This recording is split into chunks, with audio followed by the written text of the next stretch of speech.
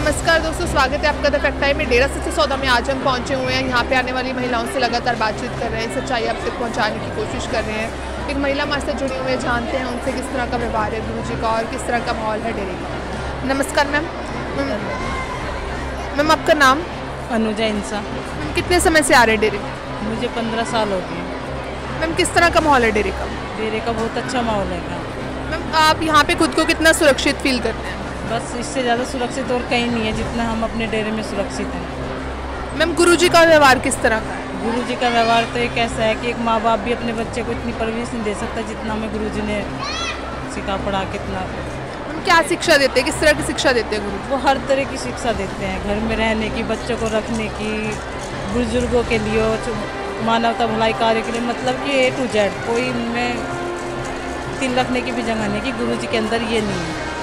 Ma'am मानवता भलाई के कौन कौन से कार्य चलाए जा रहे हैं डेरे के भलाई के कार्य खूनदान करना गरीब बेटियों की शादी कराना गरीबों को विधवाओं को मकान बना के देना बहुत कार्य हैं ऐसे। हाँ, मैम जो इल्ज़ाम गुरु जी पे लगाए जा रहे हैं क्या लगता है आपको उसमें कितनी सच्चाई है? उसमें कुछ भी सच्चाई नहीं कुछ भी सच्चाई नहीं सब झूठ है। आपकी ज़िंदगी में किस तरह का बदलाव आया डेरे से जुड़ने के बाद मेरी ज़िंदगी का तो ये है कि मैं जब यहाँ पे आई थी, मेरे बच्चे थे तो मैंने पहले अपने बेटे को डाला था कॉलेज स्कूल कॉलेज में। फिर मैंने अपने बेटी को एम बी ए कराया यहीं से। और जब हमारे गुरु जी पे ये इल्ज़ाम लगाया कि यहाँ पे तो ऐसा ऐसा हो रहा है, मैंने देखा कि मेरे तो दोनों बच्चे वहाँ पढ़ते हैं, दुनिया कितना मतलब मीडिया कितना झूठ बोलती है, कि वहाँ पे कुछ भी नहीं है हॉस्टल में मैंने हॉस्टल के अंदर जाके, खुद जाके देखा है कि मतलब बताते हैं, सुरंग है, फलाना है, इतने केस बनाए।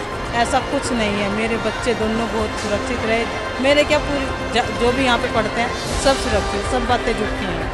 क्योंकि आपके बच्चे यहाँ पे थे तो आपको ज़्यादा पता होगा यहाँ के स्कूल्स के बारे में जो है यहाँ के कॉलेजेस के बारे में। तो मतलब जैसे मीडिया में दिखाया जा रहा है कि यहाँ सब झूठ था कुछ भी नहीं था क्योंकि मैंने बॉयज़ हॉस्टल में भी जाके देखा है क्योंकि मेरा बेटा बॉयज़ में था और मेरी बेटी गर्ल्स में थी।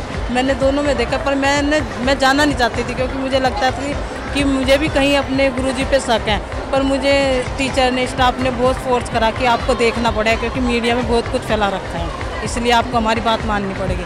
मैं उस लिए मैं उस, अपनी बहुत बड़ी गलती समझती हूँ जब मैंने देखा क्योंकि मुझे अपने गुरु पे विश्वास है। मुझे तो देखने की ज़रूरत ही नहीं थी पर मुझे देखना पड़ा दुनिया की वजह से।